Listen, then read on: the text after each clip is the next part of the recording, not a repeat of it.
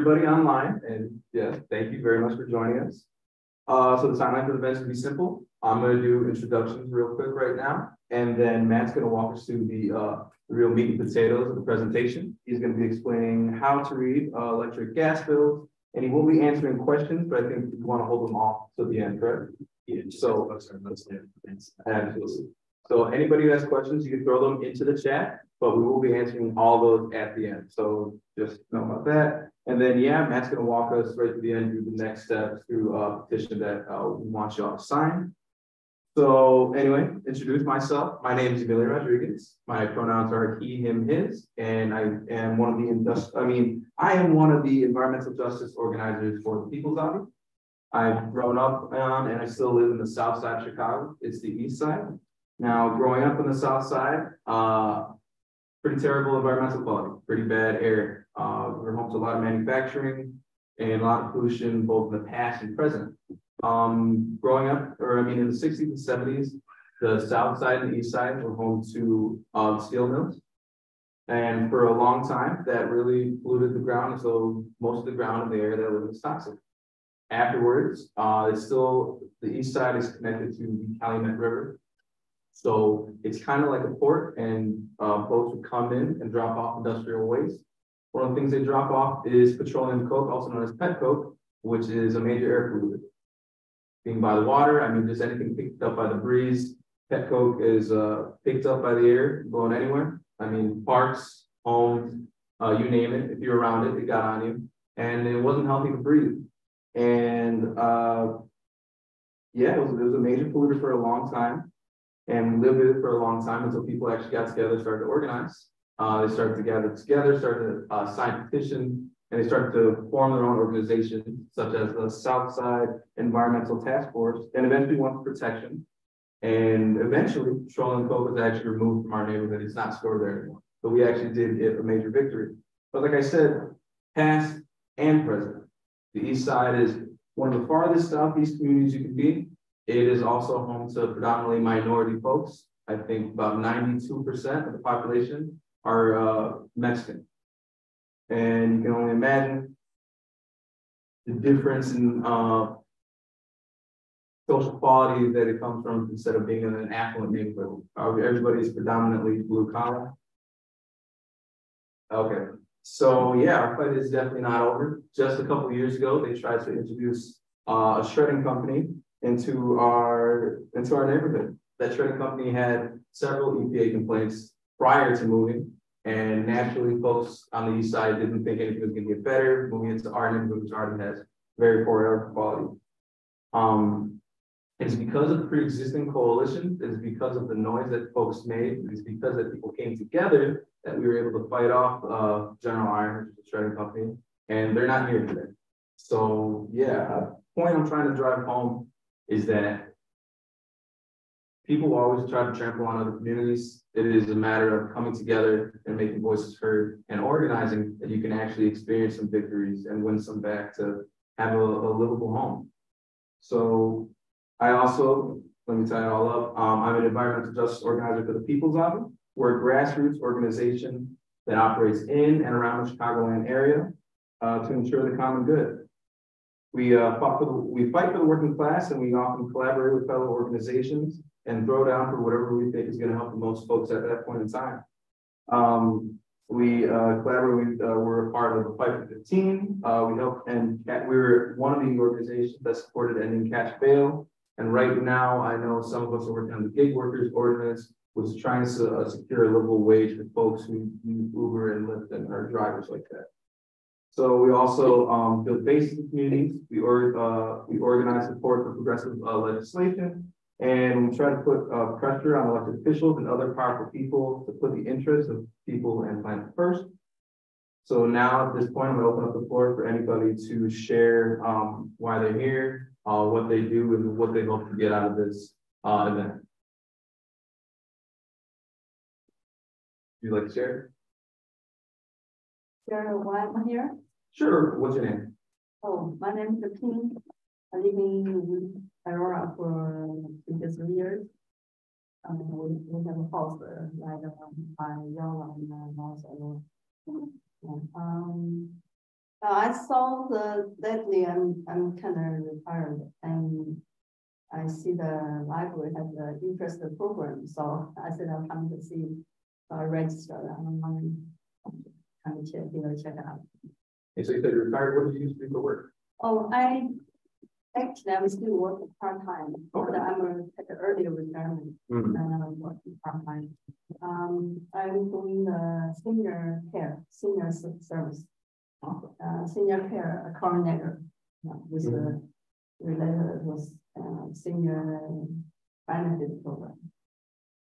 Well, thank you very much. We appreciate you coming. Also, folks in the chat can type in and say where they're from, what they're up to, and uh, how they heard about the event. I think the, the chat and stuff is running back if you're just just have to stop. Yeah, Okay, yeah, it'll come up, it'll come up, but I'll let you know. okay. Yeah, so we'll give folks a couple minutes. Can I ask you a question? What, what area is by the Molina?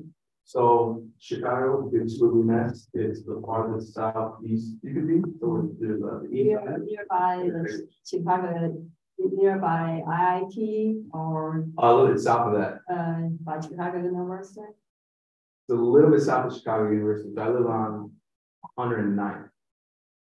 IIT is like thirty-third, and like Chicago State's like ninety-fifth, ninety-second or something like I that. I was leaving, you know, the Blue Island, Mhm. the Fifty-seventh Street, uh, you know, more south side, Mhm. when I went to college, Oh, okay. and back uh, about forty years. Yeah. I, I went college in uh, downtown Chicago, so and we, we, we have a friend, uh, rent apartment. Nice. Okay, I, I can know what it, it. Oh, yeah, and then we're also, so the east side is here, like ten minutes away to the west, that's Whiting, Indiana, Do you know where the horseshoe casino is? Yeah, so like right over there, right by the BP oil refinery, which is another polluter of air quality within the south side. Right, right. So It's all, all come together like that. We, we we did not go that far. yeah, Mm. more and.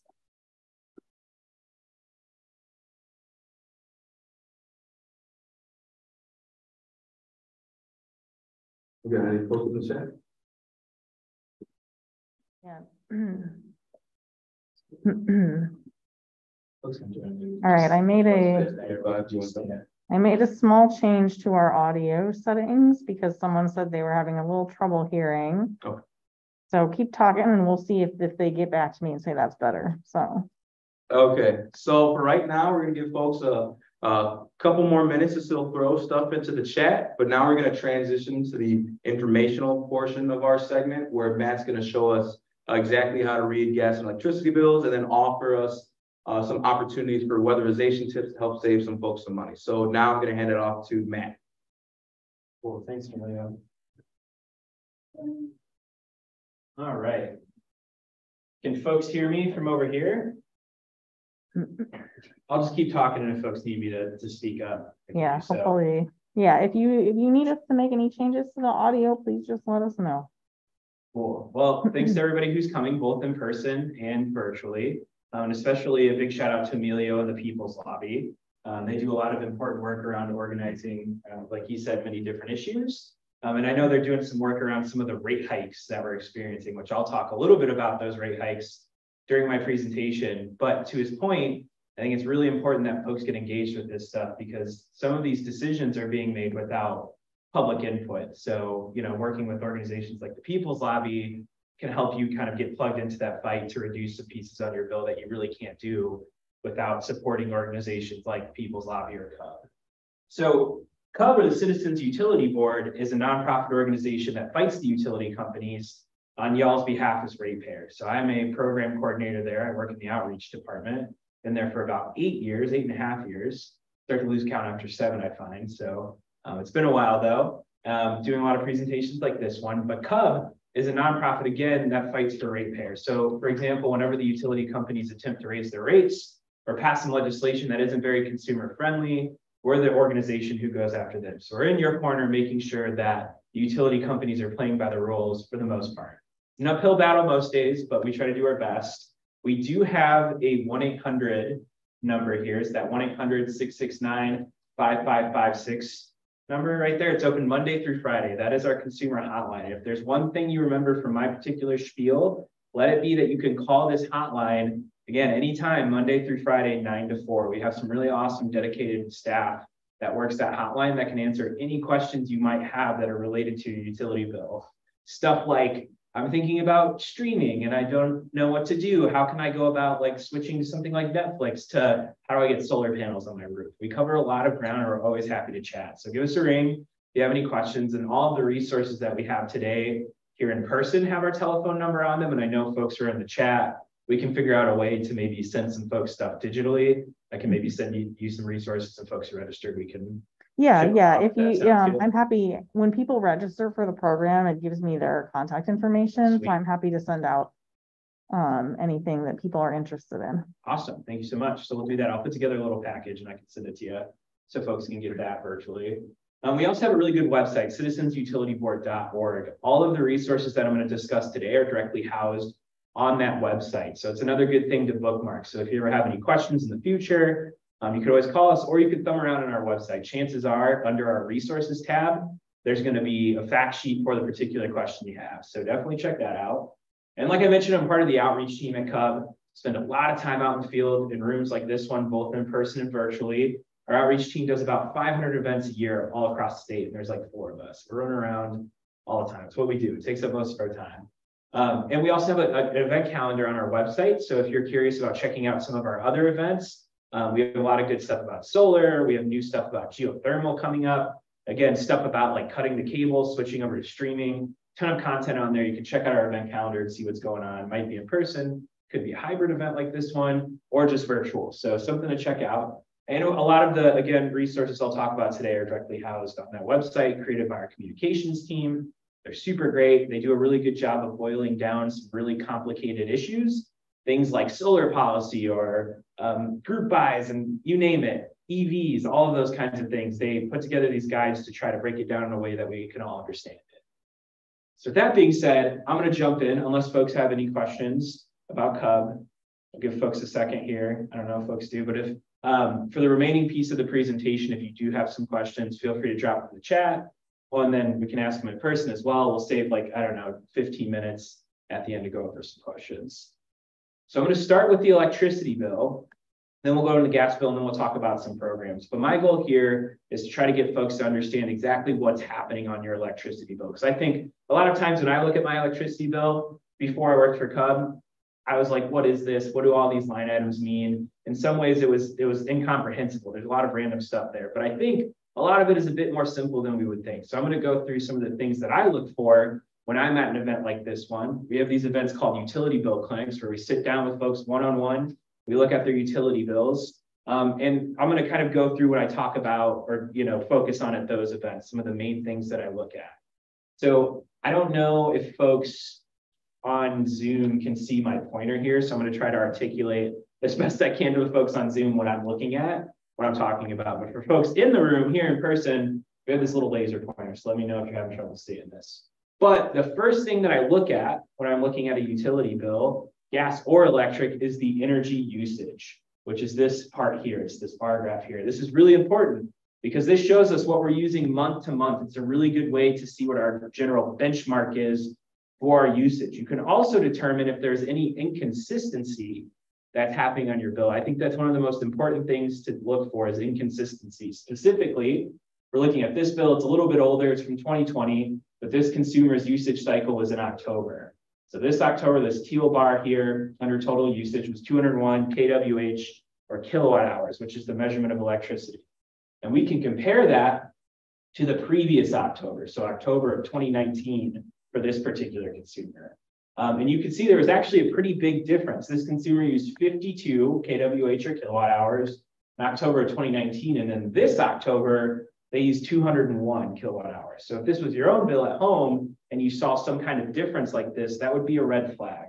This particular consumer moved in uh, October and November. So that's why their usage is so off.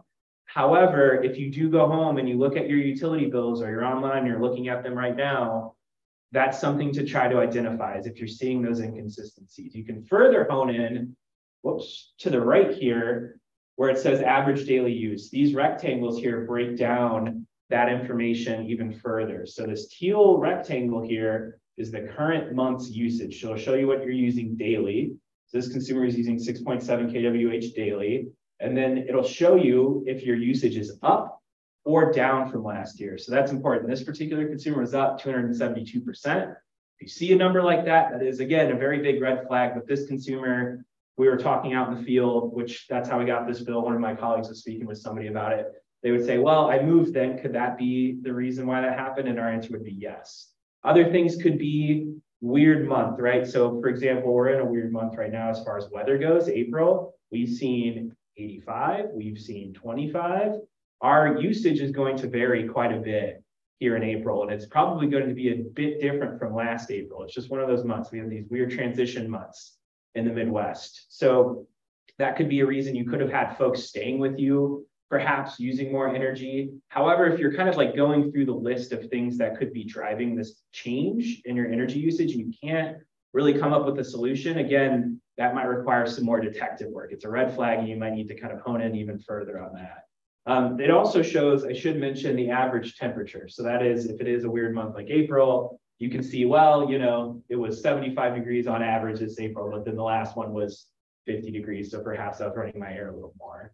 Um, so it's a nice little tool you can use to kind of do that detective work, and maybe you can just suss it out right away and see if there's some kind of difference there. The next piece of the bill is the current charges summary. This is just a general breakdown of where our money is going on our bill. So these are three different components on this particular piece. There's the supply, the delivery, and the taxes and fees. And we're going to come back to this because if you were to flip over, if we had our physical bill here and you flipped it over, you would see the back of the bill that's a variety of different components. It's the breakdown of the supply, delivery, and taxes and fees, which you can see right here. So the taxes and fees, such as life, right? All things that we purchase, we have to pay a little bit extra to it. A lot of the programs that we'll discuss today um, are funded in some part here on taxes and fees. Not much you can do on this particular piece as a consumer. The same is also true for the delivery. Delivery is a bit different.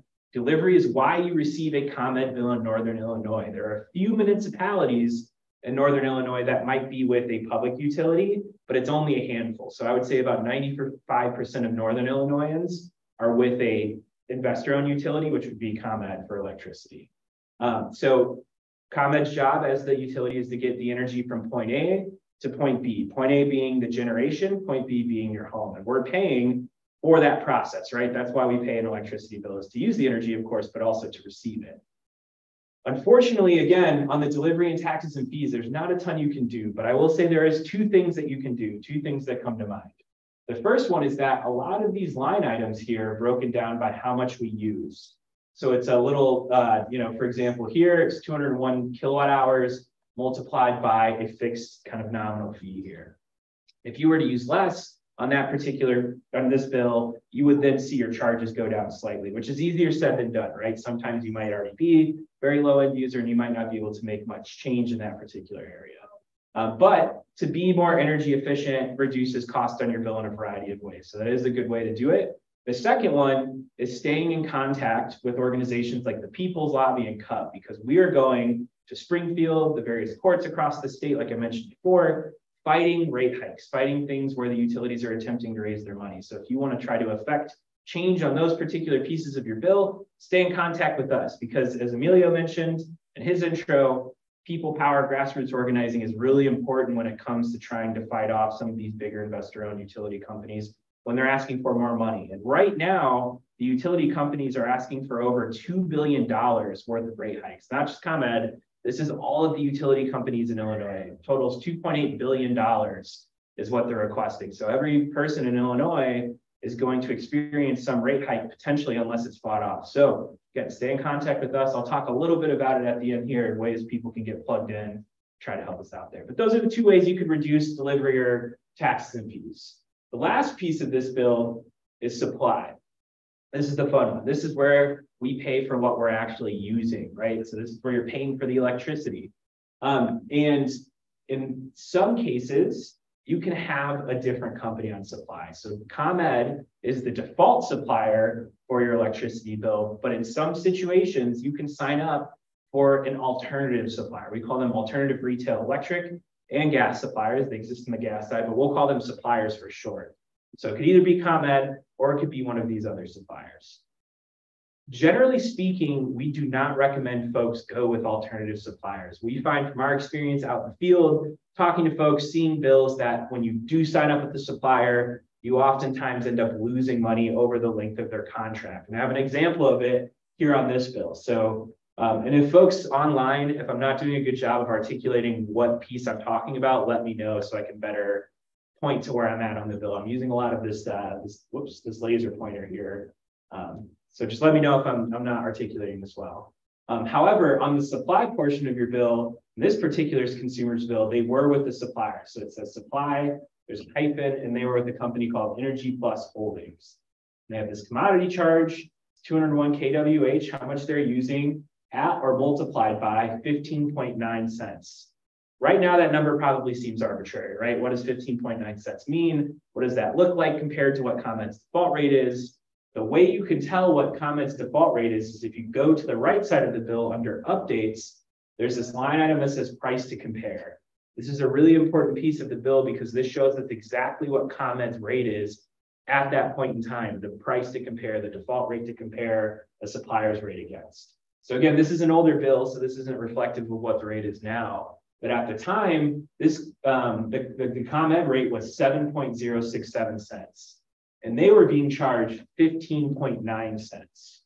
So they were being overcharged by more than double. So if this consumer was just with ComEd as the default supplier, they would be paying around, my back of the napkin math is pretty terrible, but I think it's around 14 or $15, right?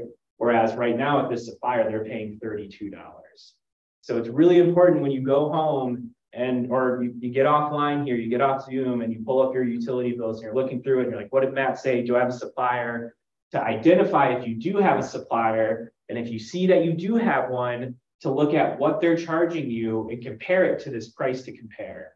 Very important because if you're losing money with that supplier, there's no value to staying with them. You're just losing money, right? The only value to being with an alternative supplier is to save money. So if you find you're spending more, you would need to cancel that contract. Um, the rate for electricity right now in ComEd territory is 9.6 cents per kilowatt hour. Aurora used to be with a um, alternative supplier for a municipal aggregation program. I, are you in Aurora, ma'am?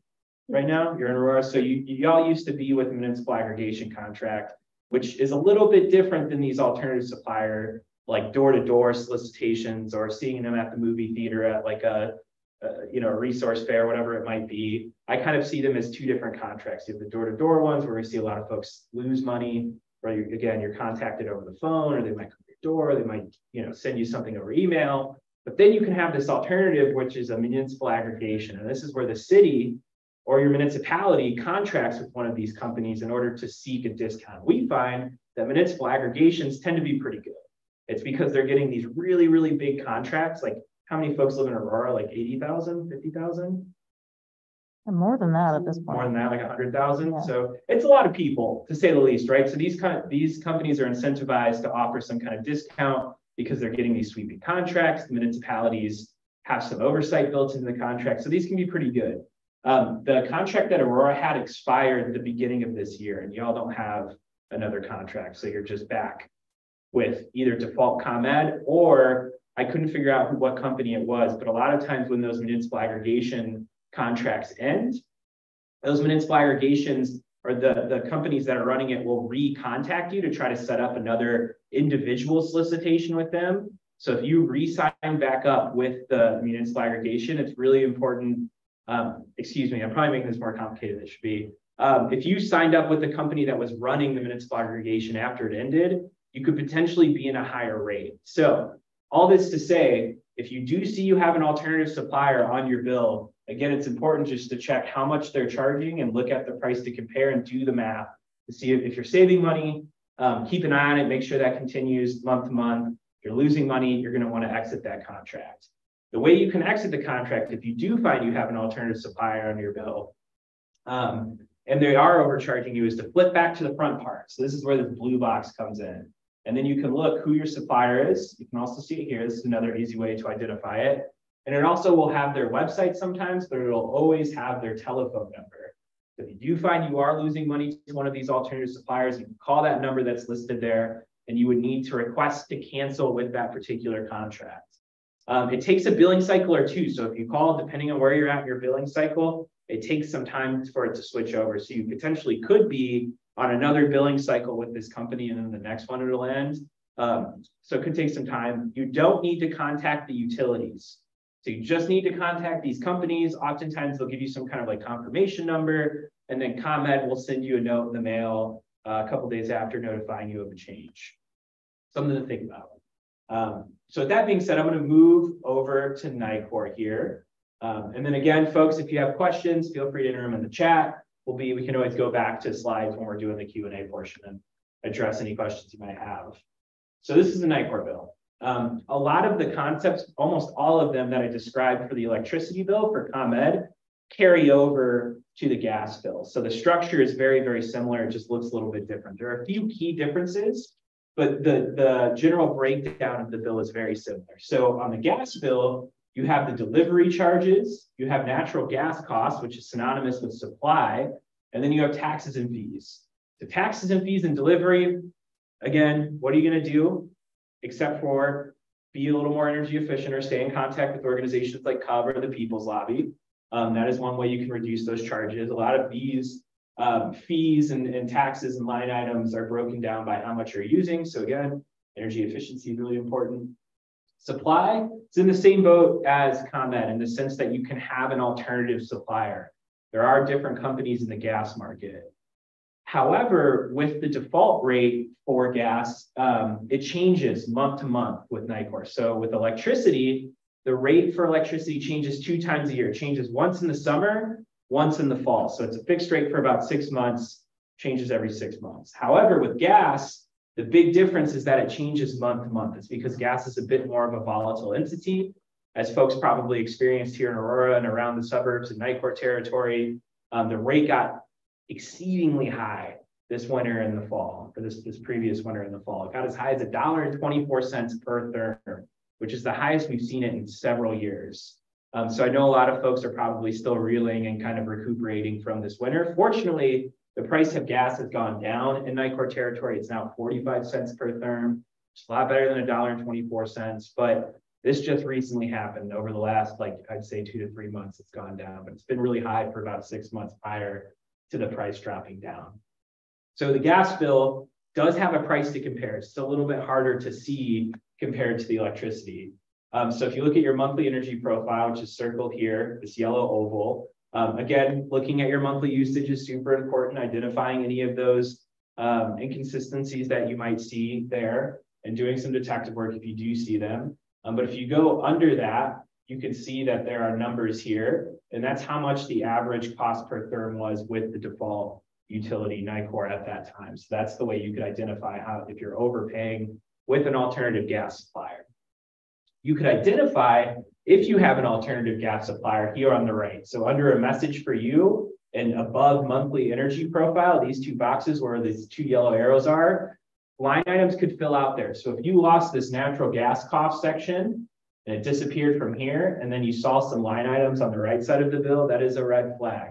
That means you have something that they title additional products and services, which in short is alternative supplier. There are also some maintenance plans you can sign up for, which CUB does not recommend. Um, Nicor Home Solutions used to be the company that offered it, which isn't Nicor. It's like a sister company of Nicor, and they, by law, were required to change their name to Pivotal Solutions. So if you see anything from Pivotal Solutions on your bill, um, that's also a red flag, and you might want to look into what you're paying for and if it makes sense for you to leave that.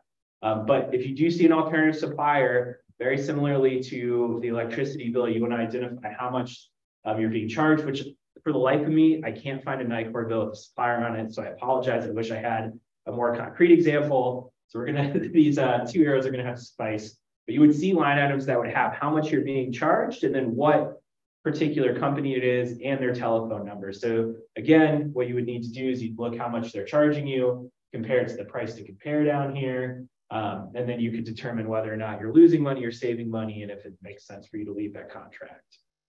That's gas in a nutshell. Now we're going to get into some programs. For the, the remaining 10 minutes, I'm going to talk about financial assistance, some programs that are available for folks who are income qualified or might be income qualified for these programs. And then I'll talk about energy efficiency, which is something that everybody can get plugged into regardless of your income.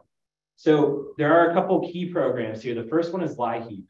LIHEAP is about to expire this month. And if you think you might qualify for LIHEAP, it's very important that you call as soon as you can um, to get plugged in. I have the Chicago information here. I just realized I forgot to change it last time I was doing something. So I will get folks who are on online here, I'll get them the right number to contact. But every county has a different administration agency. Um, this is Cook County's. Um, are we in Will County here? DuPage. DuPage, I'm very off. We're not in Wells. So Yeah. DuPage County has community action agencies here that administer things like LIHEAP or food stamps or SNAP. That would be the organization that you would need to contact to see where their satellite agency is, who can then work with you to see if there are still funds available. But if you think you might qualify and you feel that you need assistance, LIHEAP is very important. It's a financial grant on both your electricity bill and your gas bill. Not only does it give you um, this financial assistance or this grant, it also gives you some additional protections. You're classified as LIHEAP consumer and things like the utility's ability to disconnect your particular account for non-payment um, is preserved. So they can't necessarily do that as your LIHEAP recipient. So there's some really important financial protections that happen if you're a LIHEAP, recipient as well. Uh, but again, the funds were set to expire this month. They think they're going to run out and they don't think they're going to have summer funding. Um, sometimes these things change, so it's important to get in contact with your local community action agency, which if folks think they might qualify, again, I'll, I'll send a list. That's uh, an up-to-date number, not the Cook County number here. And then for folks who are in the room, if you're interested, we can talk afterwards and I can get you the right info. The next program I want to mention is the gas sharing program through NICOR. This is a $500 grant that you can receive on your gas bill if you do qualify. Um, so in order to apply for the NICOR program, um, it, you need to visit your local Salvation Army in person, which I do. I was looking up before I came here. There is a community center here, the Salvation Army somewhere in Aurora. So you just need to physically visit that in person to see if they have funds available for you. And for, I should mention too, for LIHEAP and NICOR, it's 200% federal poverty level is the, the income qualifications that you would need to meet. And I can send out these exact numbers um, to folks who are interested as well.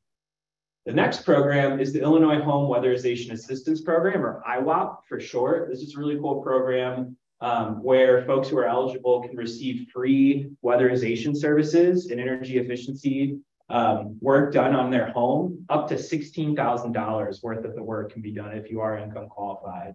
Um, it does stuff like air sealing, attic and wall insulation, HVAC repair or replacement, water heater repair or replacement, lighting and refrigerator replacement. And then lastly, if the contractors who are doing this work find that there's like asbestos or some kind of mold, there's three and a half thousand dollars that is allocated for cleaning that up as well, which is really important. Because a lot of times we're not doing this work very often, so there might be some mold that has gotten into these areas, and they might discover that. They can clean that up for you.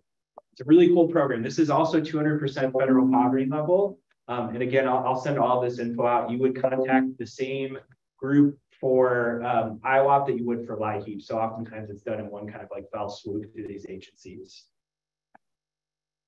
All right, so the last piece of this, we're going to talk about energy efficiency, which energy efficiency, I think, is kind of the unsung hero when it comes to either fighting climate change or just saving some money on your utility bill. It's like kind of this perfect combination of affordability and sustainability. It's a really nice intersection. CUB is a very big fan of energy efficiency. So one of the first things we tell folks who are sitting down at those utility bill clinics that I mentioned earlier is lighting is super important. So if you're somebody who still has those old incandescent light bulbs, you're missing out on a lot of savings opportunities. So about 15% of our overall electricity bill comes from lighting.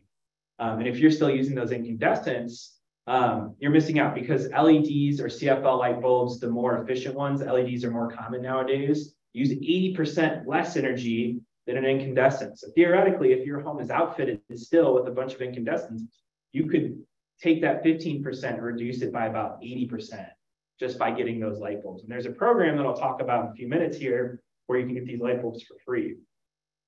The next thing is called vampire power.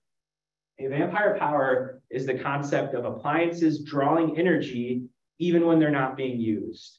Not every appliance does this, but we find that a lot of the newer appliances that we're bringing into our home, like the speakers you can like yell at and like play me whatever music you want to hear, tell me what the weather is that yells it back at you.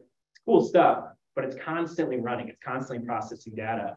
So we're seeing our vampire power figure raise quite a bit. So think um, smart appliances, trying to think of my own home here to give some like concrete examples. I have a den in my apartment where I have like my computer and a TV, and that TV always has a little red dot, even when it's turned off. It's like an orangish red dot. I think a lot of like flat screen TVs have them now.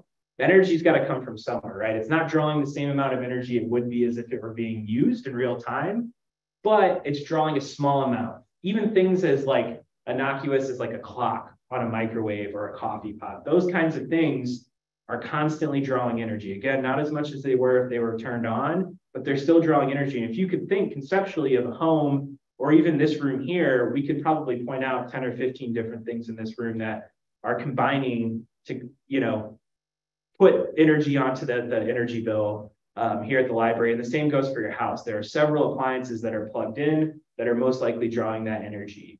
So the Natural Resources Defense Council did a study several years ago and they looked at Northern California and they looked at a, a pretty big sample size of homes and they were trying to figure out where their energy usage was coming from. And surprisingly, they found that 23% of their overall bills came from vampire power, which is much more than was previously estimated. So the Department of Energy has a figure that's around 10%, whereas NRDC from their findings is arguing it's actually more than double. And again, they attributed it to these newer appliances that we're bringing into our homes. So these new like smart appliances are constantly running. They're doing some cool stuff for us, but they're using a lot of energy. You'll never get that 23% to zero.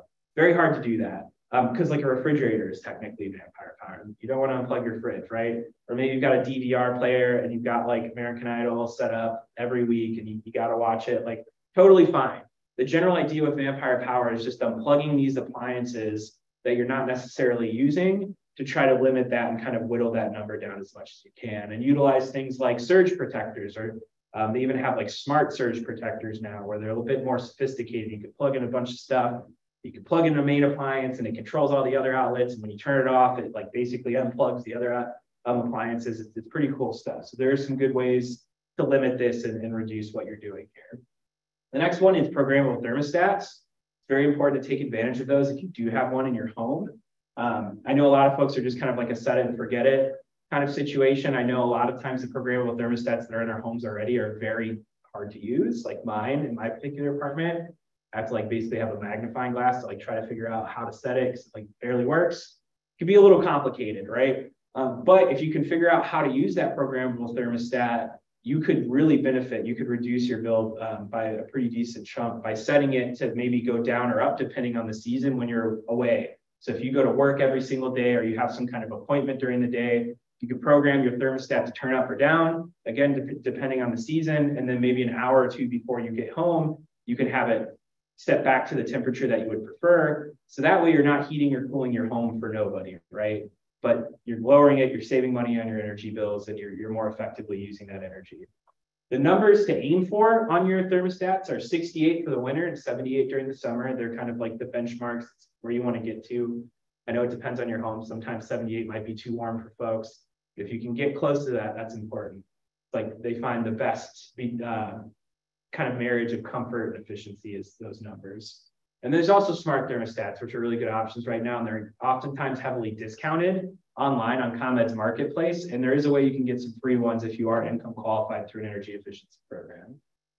Ceiling fans are another good way to be a little more efficient. I should say with ceiling fans though, um, fans cool people, not rooms. So a lot of times folks think that you just keep the fan going in the room, it's going to cool the room down. It's not necessarily true. It's just that you feel the air being moved down, so you feel cooler because of that, but it's not necessarily cooling down the room. Another thing is that you can change, depends on your fan, but most of them have a switch that you can change the rotation in which it spins. So it's clockwise for the winter because heat rises and it pushes down the hot air. Um, and then during the summer, cold air falls, so hold it up if you, you make it go counterclockwise. So that's a good way to um, utilize a fan. And then lastly, about to wrap up here, we have some utility energy efficiency programs that I want to talk about quickly. So if you do all this stuff in your own home and you're like, look, Matt, been there, done that. I'm pretty efficient. I don't know what else I can do. I would say that there are some cool programs that have been designed for folks to use less energy. The first one is something called hourly pricing.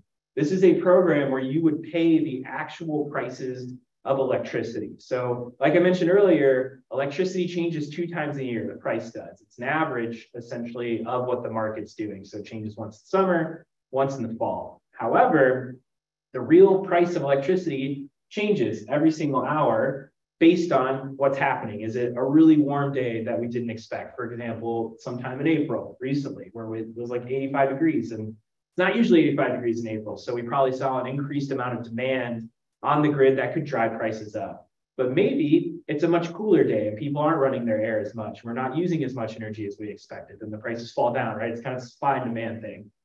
Makes sense of this grid. Um, and this is, I need to change this out too. ComEd has recently moved to kind of a new way to look at this online, but I pulled this exact from the hourly pricing uh, portal online. And the, the, blue dots are the day ahead prices. So this is what they predict the prices to be. And then the red dots are what the prices actually were.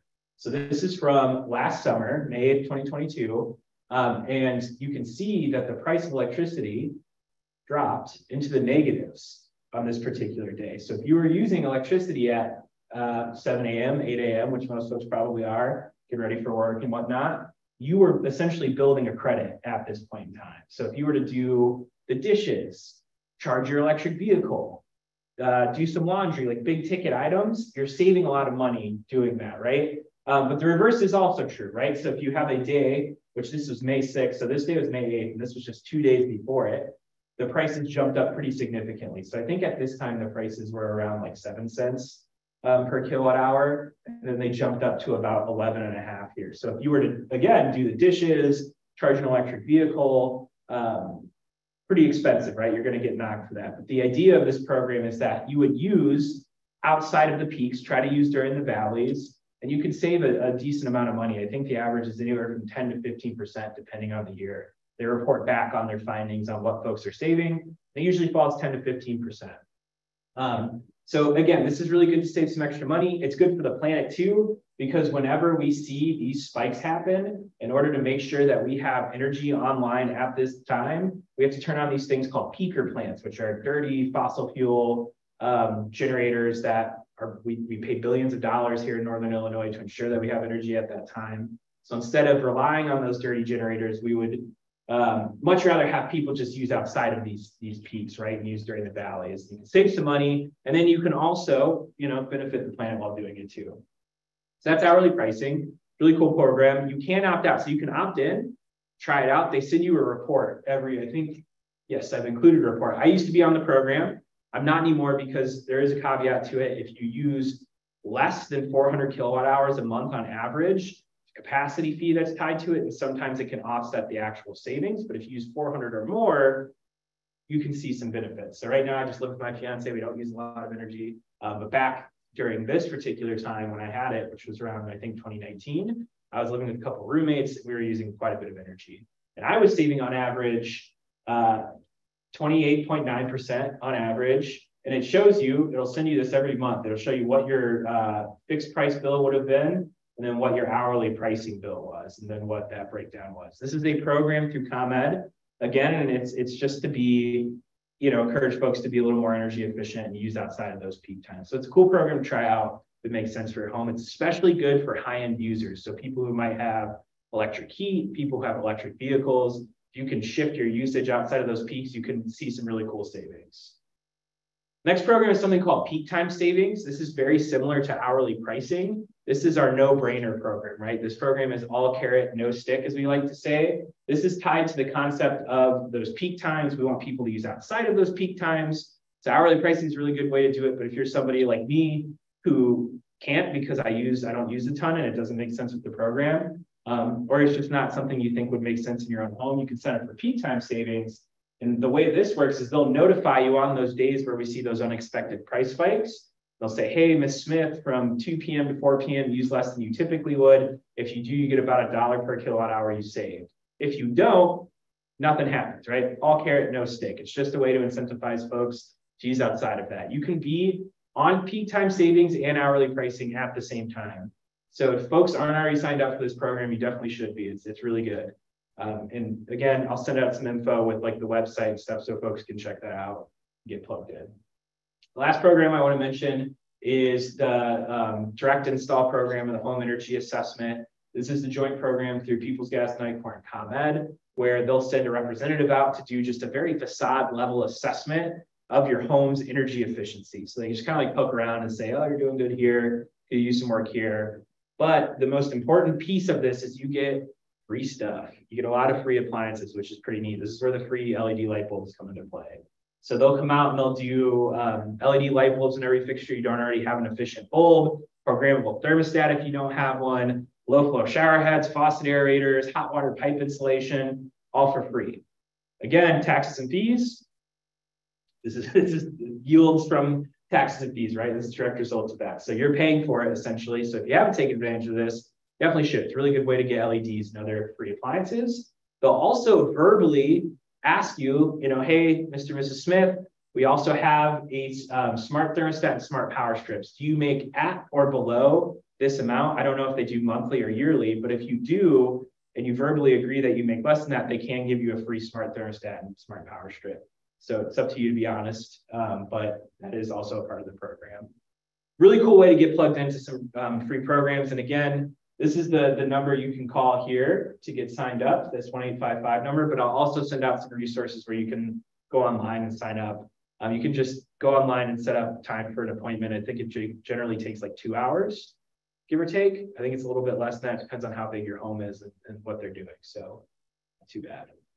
Um, lastly, we do have a petition for those rate hikes. Like Amelia was mentioning, um, I, I know folks online can see this link here. So you can go to our action center. Um, and this is really important stuff. So again, we do need the help. We're a very small organization. There's about 20 of us. We have two attorneys. We're fighting all of the utilities. So we need people to help us out to file these public comments with our Public Utility Commission here, the Illinois Commerce Commission, because that can help them when they're in these smoke-filled rooms trying to combat these rate hikes. Um, it, it's, it's helpful to have public input on this stuff. So definitely fill out these petitions. I know we were running low on time. I went over. This is my last slide, and this is just my email. CUB's hotline again. always happy to chat um, after the fact. Um, and then CUB's hotline again is a really good resource for folks. If you have any future questions or complaints. that, I'll open up to questions. I was hoping to have more time. Sorry I went so over, folks. Uh, but I don't know if we have any, any questions in the chat. I do, yeah. Um, one of our online people is asking, if I have solar panels, should I use hourly pricing with ComEd? Will it affect my sellback? That is a very good question. So I would need to get back with this person. There, it's complicated. I don't think it's as black and white with solar panels because it depends on when you're pulling and when those prices are. I think again, I, I, don't want to give out the wrong answer, but I think it might be beneficial to be on the program, but I think it, it, it depends. So if that person wants to leave their email, I can get the info to them. I can talk to some of my colleagues, but there's been some rumblings about hourly pricing and how it works with, with solar panels. And I think just because of the nature of you're not using energy and you're pulling from your solar panels, but then at night you're actually pulling from the grid, it, it can make it a little complicated. So I'll get the, the info for whoever that is. If they want it, just leave your uh, email and I'll get it after the fact. All right. Well, if folks don't have any lingering questions, um, you, you, have my email. So folks, if you want to uh, get plugged in or have some follow-up questions in the future, feel free to contact me. And then um, I'll send out all of the resources that I discussed today. I'll work with Megan and the library to, to get that to folks who, who joined virtually. Thank you.